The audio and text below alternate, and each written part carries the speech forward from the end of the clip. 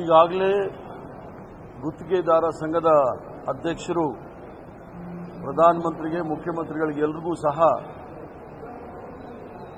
ಒಂದು ಕಂಪ್ಲೇಂಟ್ ಅನ್ನ ಈಗಾಗಲೇ ಕೊಟ್ಟಿದ್ದಾರೆ.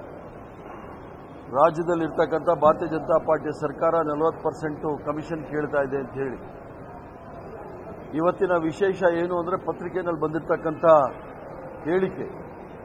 ಒಬ್ಬರು ಭಾರತೀಯ ಜನತಾ ಪಾರ್ಟಿಯ ಕಾರ್ಯಕರ್ತ, ಹಿಂದೂ ಸಂಘಟನೆಗಳ ಪ್ರಮುಖ ನಾಯಕ, ಬಹಳ ಗಂಭೀರವಾದ ಆರೋಪ ಗ್ರಾಮೀಣ ಅಭಿವೃದ್ಧಿ ಸಚಿವರ ಮೇಲೆ ಮಾಡಿರ್ತಕ್ಕಂಥದ್ದು.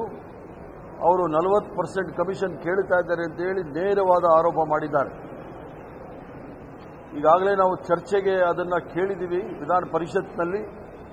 ಈ ನಲವತ್ತು ಪರ್ಸೆಂಟ್ ಸರ್ಕಾರ ದಿನ ದಿನಕ್ಕೂ ಸಹ ಹೆಚ್ಚಾಗ್ತಾ ಇದೆ. ಈಗಾಗಲೇ ಆರು ತಿಂಗಳಿಂದ ಆ ಒಂದು ವರ್ಷದಿಂದಲೂ ಸಹ ನಾವು ಈ ನಲವತ್ತು ಪರ್ಸೆಂಟ್ ವಿಚಾರದಲ್ಲಿ ಸದನದಲ್ಲಿ ಮತ್ತು ಹೊರಗಡೆ ಹೇಳಿಕೆಗಳನ್ನು ಕೊಡ್ತಾ ಇದ್ದೀವಿ.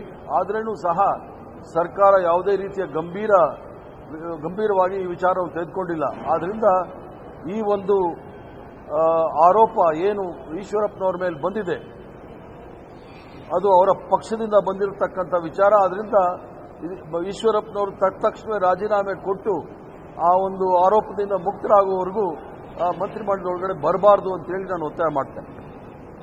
ಇನ್ನೊಂದು ವಿಚಾರ, ಸುಪ್ರೀಂ ಕೋರ್ಟ್ ಒಂದು ಮಾಡ್ತಿದೆ ತೀರ್ಪು ಕೊಟ್ಟಿದೆ ಅಲ್ಪಸಂಖ್ಯಾತರನ್ನ ಘೋಷಣೆ ಮಾಡುವಂತ, ಅಲ್ಪಸಂಖ್ಯಾತರನ್ನು ಘೋಷಣೆ ಮಾಡುವಂತ ಹಕ್ಕನ್ನ ರಾಜ್ಯ ಸರ್ಕಾರಗಳಿಗೆ ಕೊಟ್ಟಿದೆ ಈಗ ಅಲ್ಪಸಂಖ್ಯಾತರು ಅಂತ ಹೇಳಿ ಸುಪ್ರೀಂ ಕೋರ್ಟ್ಗೆ ಕೇಂದ್ರ ಸರ್ಕಾರ ಒಂದು ಅರ್ಜಿಯನ್ನು ಕೊಟ್ಟಿದೆ. ರಾಜ್ಯಗಳಿಗೆ ಅಧಿಕಾರ ಕೊಡ್ತಕ್ಕಂಥದ್ದು ಯಾರು ಅಲ್ಪಸಂಖ್ಯಾತರು ಅಂತ ಹೇಳಿ. ಅದೇನು ತೊಂದರೆ ಇಲ್ಲ, ಯಾವ ರಾಜ್ಯದಲ್ಲಿ ಯಾರು ಅಲ್ಪಸಂಖ್ಯಾತರಿದ್ದಾರೆ ಅಂತ ಹೇಳಿ ಅವ್ರನ್ನ ಘೋಷಣೆ ಮಾಡಲಿ, ಅದರಲ್ಲೇನು ತಪ್ಪೇನಿಲ್ಲ.